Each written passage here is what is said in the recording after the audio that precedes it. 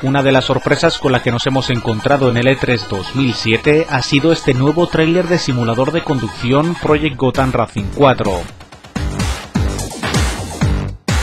En él se confirma lo que ya se sabía desde hace días, la posibilidad de poder pilotar motos como principal novedad de esta entrega.